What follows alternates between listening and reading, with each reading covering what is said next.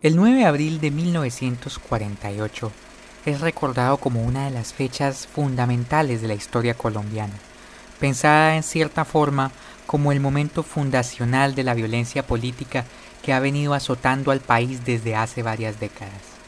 La fecha se ha asociado principalmente con las revueltas que se dieron a lo largo y ancho del país en lo que popularmente se ha llamado el Bogotazo, ocurrido como respuesta al asesinato del líder popular Jorge Eliezer Gaitán, lo cual según algunos inauguró el periodo conocido como la violencia. Pero existen elementos complejos detrás no solo de las causas del hecho que involucró a la violencia política bipartidista, la desigualdad social y las dinámicas del poder que imperaban en el país, sino también en sus consecuencias, que más bien obedecieron a un proceso que venía moldeándose mucho antes del asesinato del llamado caudillo del pueblo. ¿Por qué se dio entonces esa explosión de violencia el 9 de abril? ¿Se buscó una revolución popular? ¿Cómo se vieron afectados o favorecidos los intereses de las estructuras de poder ese día? ¿Cuál es el legado de la fecha? Hoy en Viajeros en el Tiempo trataremos de responder estas preguntas.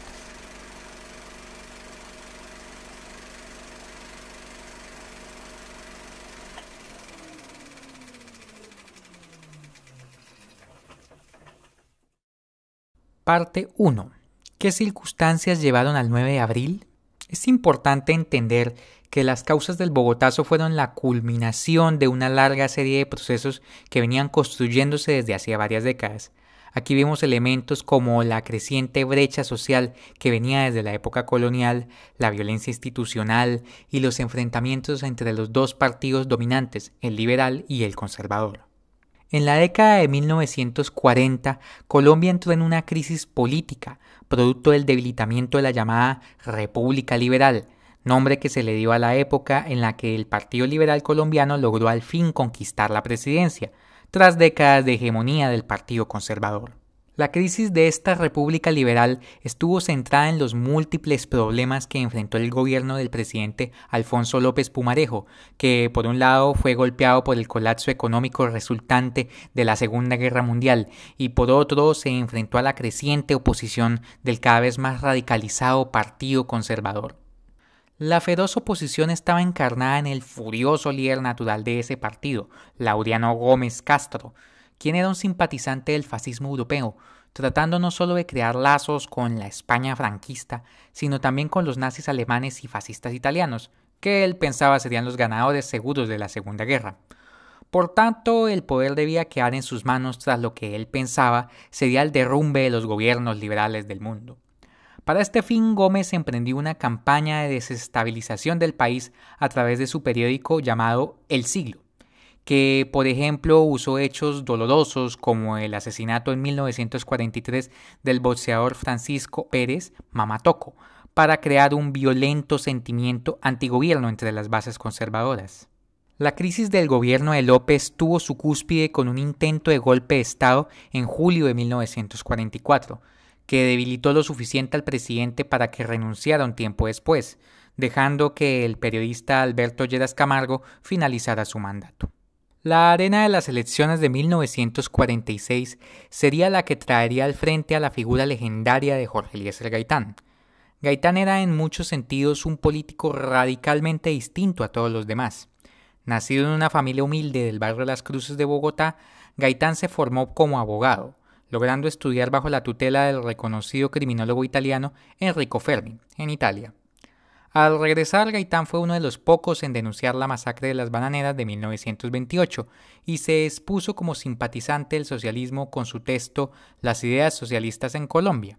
Poco a poco, Gaitán se empezó a destacar dentro de la arena política, usando un discurso antiimperialista y antioligárquico, lo que le permitió crear un movimiento de masas que tuvo la plaza pública como escenario principal. Brevemente dirigió un movimiento conocido como el UNIR, pero tras no tener mucho impulso, decide mantenerse dentro del Partido Liberal. Aunque su paso por la alcaldía de Bogotá tuvo elementos controversiales y poco populares, recibió protestas por tratar de uniformar a los taxistas y eliminar el uso de la ruana, Gaitán, con su espectacular oratoria y su personalidad magnética, logró poco a poco consolidarse como un potencial candidato en las elecciones de 1946. El movimiento de Gaitán se caracterizó por tratar de agrupar sectores que por lo general eran excluidos de la arena política, incluyendo campesinos, obreros, emboladores, choferes, vendedores de mercado, empleadas del servicio, inclusive prostitutas, ladrones y mendigos. De esta manera logró una organización fuerte en barrios populares, como la Perseverancia en Bogotá, en donde líderes barriales siguieron al pie de la letra sus indicaciones, llamándolo reverencialmente el jefe. Yo no soy yo personalmente, yo soy un pueblo que me sigue porque se sigue a sí mismo cuando me sigue a mí, pero interpretado. Gaitán incluso se salía de la lógica bipartidista, diciendo famosamente que el hambre no es conservadora ni liberal. Gaitán apelaba a denunciar la brecha social hablando de la existencia de un país político, las oligarquías, y un país nacional, las masas populares. Sus discursos dados en las plazas públicas de muchos lugares del país o en espacios como el Teatro Municipal de Bogotá eran transmitidos a través de la radio, convirtiendo a Gaitán en uno de los primeros políticos verdaderamente mediáticos. Nos sentimos muy orgullosos de esta vieja raza indígena y odiamos estas oligarquías que nos ignoran. Y detestamos a esta gente que odia al pueblo y cree que a la raza colombiana se le pueden volver las espaldas y que el país político puede jugar con los dados de su afinidad sobre la túnica de nuestro patriotismo. ¡Pueblo! ¡Por la restauración moral! ¡Por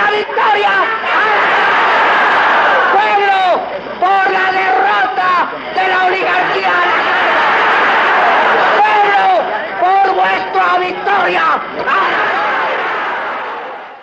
Pero el fenómeno Gaitán tuvo como consecuencia indirecta la división del liberalismo en cara a las elecciones.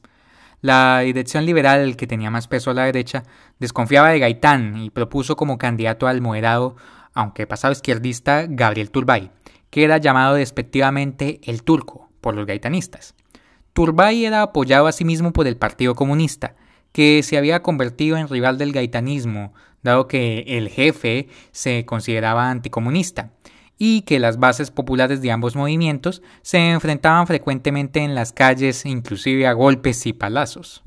La división del partido fue aprovechada por los conservadores, que inmediatamente hicieron jugadas estratégicas para tomar la presidencia, que incluyeron, por ejemplo, no nominar a Laureano Gómez para evitar que los liberales se unieran en su contra.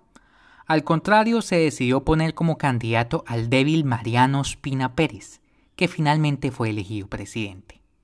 Esto fue una excepción para todas las bases liberales, no solo por la derrota frente al conservatismo, sino también porque los gaitanistas esperaban más votos y los moderados se preocuparon por el número de votos obtenidos por Gaitán.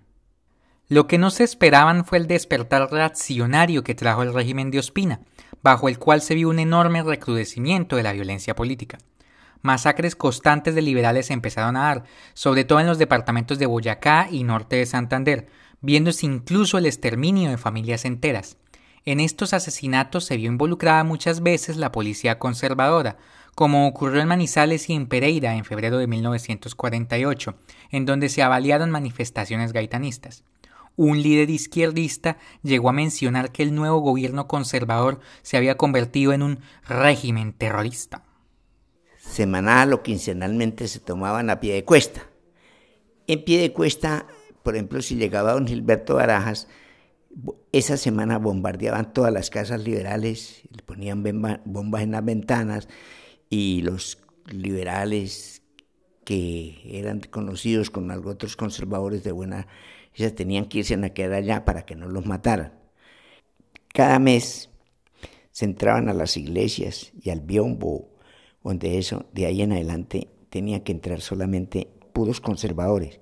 Si dentro de la iglesia se encontraba un liberal, dentro de la iglesia misma se mataba con el auspicio o buena voluntad de los sacerdotes, porque los sacerdotes, algunos de ellos, que no recuerdo mi nombre, con don Gilberto Barajas, pues decían que matar liberales no era pecado. A pesar del reaccionismo y la violencia del régimen, o quizá gracias a él, el movimiento de Gaitán pronto empezó a tomar más impulso. Gaitán organizó manifestaciones multitudinarias, como la Marcha de las Antorchas, que le valió críticas de varios sectores, que la compararon con manifestaciones del fascismo italiano, del cual Gaitán probablemente sí se había inspirado en lo superficial, tras estudiar en la Italia de Mussolini. Poco después Gaitán sería designado como el jefe único del Partido Liberal.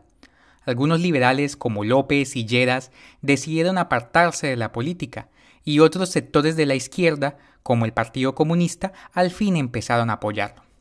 Gaitán emprendió una fuerte campaña de crítica contra el gobierno, enviando inclusive un memorial de agravios al presidente Ospina. Pero la más importante de estas manifestaciones fue la Marcha del Silencio, en la que aproximadamente 100.000 personas acompañaron a Gaitán a la Plaza de Bolívar, en una calma y silencio absoluto, para solamente oír la voz del caudillo en un discurso en voz de protesta por las víctimas de la violencia de Estado, que él llamó Oración por la Paz.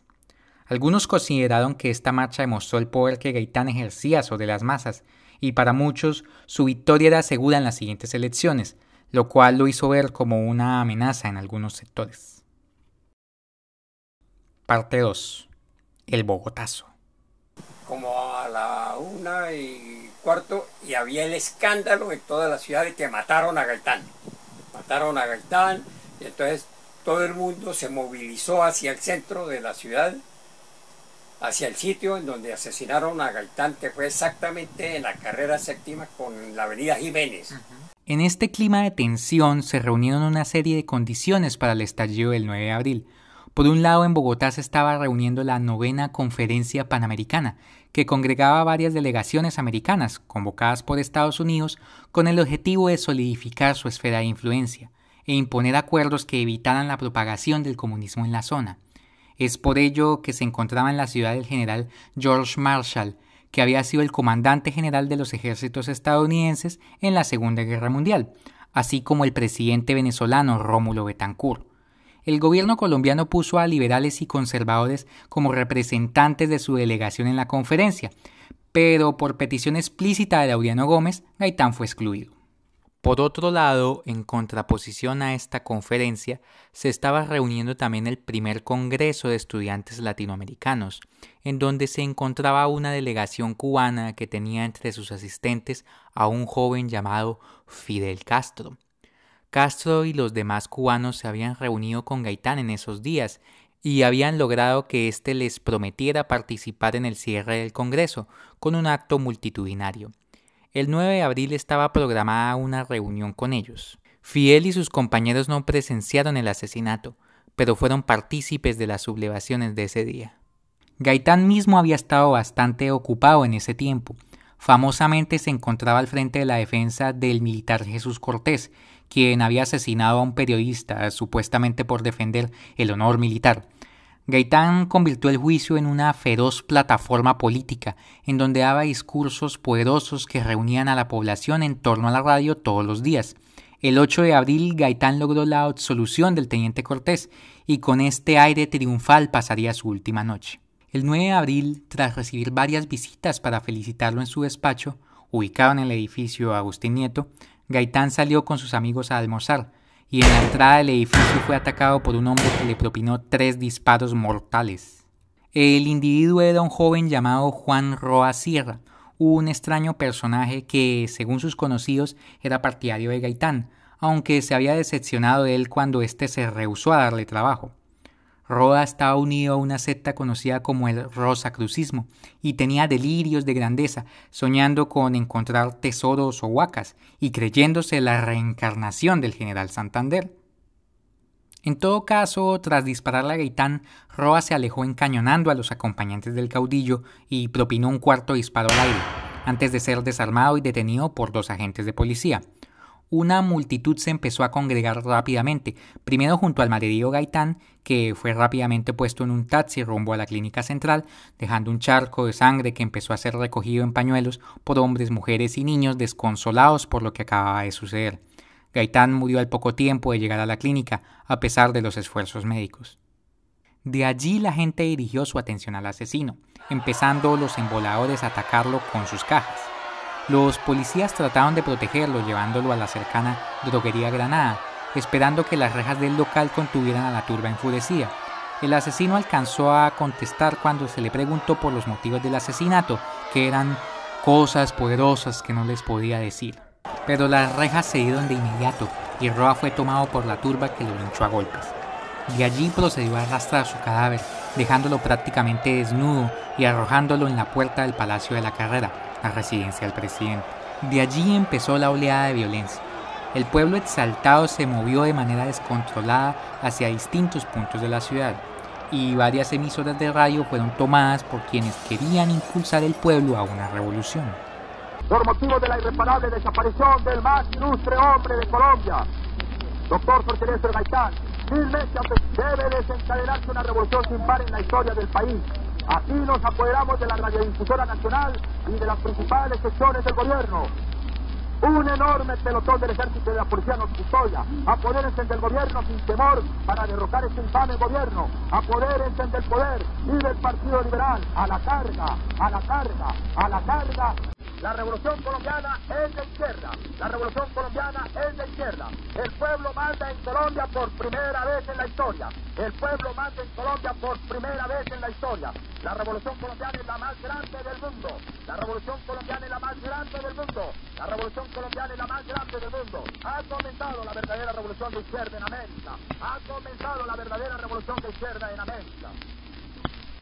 La gente enfurecida trató de tomarse el Palacio de la Carrera enfrentándose a muerte con la Guardia Presidencial, que trataba de defender a Mariano Ospina Pérez y a su esposa Berta Hernández de Ospina, que apenas habían logrado entrar de regreso al palacio ya que se encontraban fuera en un evento. Asimismo, la gente logró meterse al Palacio de la Gobernación, al Capitolio, a la sede del periódico El Siglo, al Palacio de San Carlos, al Ministerio de Gobierno, al Palacio Arzobispal y al Hotel Regina arrojando muebles, máquinas de escribir y papeles por las ventanas, y terminando con prenderle fuego a estos edificios. También atacaron los tranvías, incendiando y volcando varios. La gente además atacaba ferreterías y armerías para tomar machetes, palos o fusiles y armarse con ellos. Pronto los saqueos, asesinatos, enfrentamientos e incendios se expandieron por varias partes de la ciudad, impulsados además por el consumo de licor. Aunque las fuerzas militares y de policía en general permanecieron del lado del Estado, algunos apoyaron al pueblo rebelde, brindándoles apoyo y armas. La quinta división de la policía famosamente se unió a la rebelión, dejando sus cuarteles como centro de operaciones para organizar un golpe contra el gobierno. Allí se reunieron, por ejemplo, algunos líderes populares gaitanistas y líderes estudiantiles, entre los que estuvo Fidel Castro. En otra parte de la ciudad, una junta revolucionaria con el claro intento de tomarse el poder se organizó integrando dirigentes gaitanistas, estudiantes y otros activistas de izquierda, los cuales se reunieron en la Plaza de Todos de la Santa María, desde donde se enfrentaron furiosamente a las fuerzas del Estado, especialmente a las del cercano Ministerio de Guerra. Los líderes liberales, entre los que estaban Carlos Lleras Restrepo y Darío Echandía, se reunieron en la clínica central y tras ser declarada la muerte de Gaitán, procedieron a deliberar sobre qué decisión tomar en medio del caos. Aunque algunos liberales estaban decididos a apoyar una revolución popular, Julio César Turbay, por ejemplo, estaba en la calle con un palo amotinando al pueblo, al final se decidió conciliar con el presidente y se envió una delegación al palacio. Mientras tanto, la situación en el centro se tornó más sanguinaria. Francotiradores en las torres de las iglesias y en la escuela de San Bartolomé, que según algunos eran los mismos curas, empezaron a disparar contra la gente que estaba tratando de tomarse el palacio. Al rato llegaron también los tanques y el ejército, al principio recibidos con júbilo por la gente que pensaban que venían a sumarse a la revolución, pero para sorpresa de la multitud, los tanques empezaron a disparar contra la gente en la plaza de Bolívar, dejando múltiples cadáveres. En las horas de la noche, mientras seguían los tiroteos y los incendios, la delegación de liberales, compuesta por Darío Echandía, Carlos Lledas Restrepo, Luis Cano, Plinio Mendoza Neira y Alfonso Araujo, llegó al palacio a conciliar, en principio buscando establecer la llamada Unión Nacional, en donde gobernaran ambos partidos. Aunque también solicitaron la renuncia de Ospina, a quien se negó. Laureano Gómez, quien se refugió en el Ministerio de Guerra, llamaba por teléfono exigiendo que Ospina le cediera el poder a una junta militar y tomara como rehenes a los liberales en el palacio. La reunión terminó en la madrugada del otro día, concertando que se debía detener cualquier rebelión, que se le haría algunos ministerios a los liberales y que Laureano saldría del gobierno. El hecho de que Darío Echandía, quien era visto como el sucesor de Gaitán, pasara a formar parte del gobierno como ministro, desanimó a muchos de los rebeldes. En las horas de la noche llegaron los refuerzos militares provenientes de Tunja, que a sangre y fuego sometieron a la ciudad. Tras esto se estableció un estado de sitio total, que terminó la revuelta y salvó al gobierno de Ospina. Al llegar el 10 de abril ya era claro que cualquier intento de derrocar al gobierno había fracasado. Se estiman que los muertos de ese día estuvieron entre los 500 y los 3000, o inclusive más, aunque nunca hubo cifras oficiales. Cientos de cadáveres se acumularon en el cementerio central, incluyendo el del asesino Roa, para ser arrojados en las fosas comunes.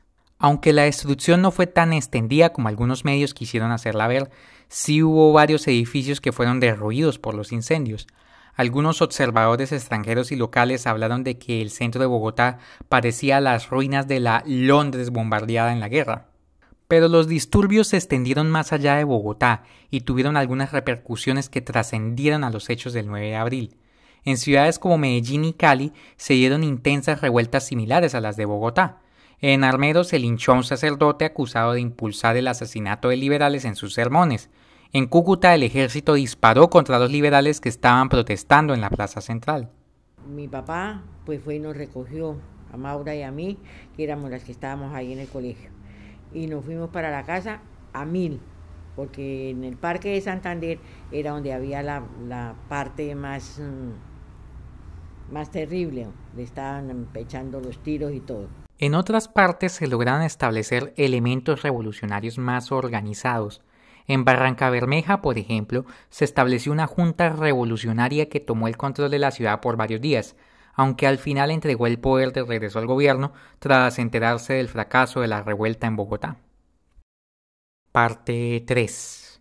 ¿Cuál es el legado de esta fecha? Desde un principio casi todas las partes involucradas pensaron que los hechos del 9 de abril se dieron por una conspiración, el pueblo revelado estaba convencido que el gobierno había asesinado a Gaitán para evitar que éste ganara las elecciones, y las emisoras tomadas por el pueblo difundieron que la policía había oprimido el gatillo, por órdenes de Laureano Gómez o de Ospina en persona. El gobierno por su lado aseguraba que todo había sido un complot comunista, teoría que fue apoyada por el general Marshall y la Conferencia Panamericana, que volvió a sesionar el 14 de abril, haciendo al final una declaración para combatir el comunismo en la región, fundando bajo esta premisa la Organización de Estados Americanos. Por esta razón el gobierno cortó relaciones con la Unión Soviética al poco tiempo.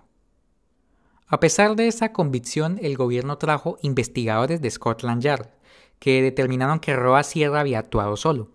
Aún así, esto no convenció a la mayor parte de la población, y aún hoy muchos creen que hubo algo más a fondo tras el asesinato. Y existen elementos extraños según varios testimonios. El testigo Julio Enrique Santos dice que había uno o dos hombres acompañando a Roa, y según Gabriel García Márquez, que también fue testigo del evento, un hombre extraño fue quien propició el linchamiento de Roa y huyó en un automóvil rápidamente. Sobra decir que todo esto es especulación. Y aún así aparecieron nuevos elementos extraños. Un supuesto agente de la CIA llamado John Meples Espíritu fue capturado en La Habana a principios de la década de 1960 y fue entrevistado por agentes cubanos que grabaron una declaración en donde el personaje confesaba haber organizado el asesinato de Gaitán, siguiendo la estrategia de contención del comunismo de la CIA. Estas declaraciones han sido tomadas con cierto nivel de incredulidad por los mismos agentes cubanos e investigadores como Arturo Alape, quien al entrevistar de nuevo al misterioso personaje recibió la respuesta de que quizá había exagerado en su declaración. Lo cierto es que la mayor parte de la documentación de la CIA con respecto al Bogotazo aún permanece clasificada, permaneciendo ese halo de misterio alrededor del asunto. Pero más allá de todas estas conspiranoicas discusiones, vale la pena revisar cuál pudo ser el verdadero impacto del Bogotazo. ¿Fue realmente el punto de inicio de la violencia en Colombia? Como ya lo explicamos, la violencia partidista se estaba dando desde antes de la muerte de Gaitán. De hecho, él mismo la denunciaba en sus discursos. Pero algo que sí es cierto es que tras el 9 de abril se dieron una serie de procesos políticos y sociales que llevaron a la desdemocratización del régimen conservador de Ospina, lo que impulsó el inicio de la época de la violencia, bajo Laureano Gómez y luego bajo Rojas Pinilla. Gaitán por su parte cimentó su legado como una figura romántica, vista como el caudillo popular que haría el poder al pueblo y que las élites no dejaron llegar al poder. La memorialización suya, aunque ha tenido pocas instancias oficiales, sí ha tenido muchos escenarios populares. El entierro de Gaitán, que al final se dio en su propia casa, reunió a miles de personas, siendo esta su última gran manifestación. Aún hoy el lugar donde cayó es un punto de peregrinaje. El gaitanismo y los hechos del Bogotazo, por su enormidad popular y su dramático final, dieron inspiración a varios artistas, que plasmaron tanto la esperanza y la unidad que trajo el gaitanismo como el horror y la desesperanza con los hechos posteriores. Los artistas Débora Arango, Alejandro Obregón, Alipio Jaramillo y Enrique Grau interpretaron los hechos a través de sus pinceles. La fotografía también tuvo un papel fundamental, con obras como las de Manuel H. Rodríguez, Sadi González o Luis Alberto Gaitán Lunga, que dejaron algunas de las imágenes que más se grabaron en la conciencia colectiva colombiana. El cine y la televisión también tuvieron varias obras importantes sobre el tema, convirtiéndose algunas de ellas en clásicos, que sirvieron como base para rememorar y reflexionar sobre los hechos de ese día. Conclusión. El impacto de lo sucedido el 9 de abril no debe de ninguna forma ser subestimado. Por un lado fue el punto cúspide de la desigualdad social impuesta en el país a través de la represión oficial, lo que resultó en un estallido de venganza por parte de un pueblo que había visto truncada su única esperanza. Si el gaitanismo hubiera o no cumplido con esas expectativas, resulta irrelevante al pensar que, de todas maneras, fue uno de los pocos movimientos políticos en poner en el discurso las necesidades del pueblo raso. Y aunque con esta expresión de dolor colectivo sí se trató de lograr una revolución popular, al final las circunstancias de ese día llevaron a una dura represión por parte de las fuerzas del Estado, profundizando el antidemocrático régimen conservador. Los ciclos de violencia anteriores y posteriores al 9 de abril al final terminaron favoreciendo a esa clase política que Gaitán tanto denunció, revictimizando a esas bases populares que aún hoy buscan justicia. Bueno amigos, y eso fue todo por hoy. El tema de hoy fue un poquito complicado, así que los invito a que lean un poquito más al respecto. Eh, un libro que recomiendo bastante para eso es este, El Bogotazo, Memorias de un Olvido, de Arturo Alape. También, como vieron, hicimos algunas entrevistas inéditas para este video. Los invito que si tienen historias sobre el Bogotazo, pues de, de sus padres, abuelos o de ustedes mismos, las dejen en los comentarios o en las redes sociales. Una vez más les recuerdo que se suscriban al canal y activen la campanita para las notificaciones. También no olviden seguir nuestro podcast en Spotify y aquí en YouTube y nuestra página web en viajeroseneltiempo.com. Nos veremos muy pronto para un nuevo viaje en el tiempo.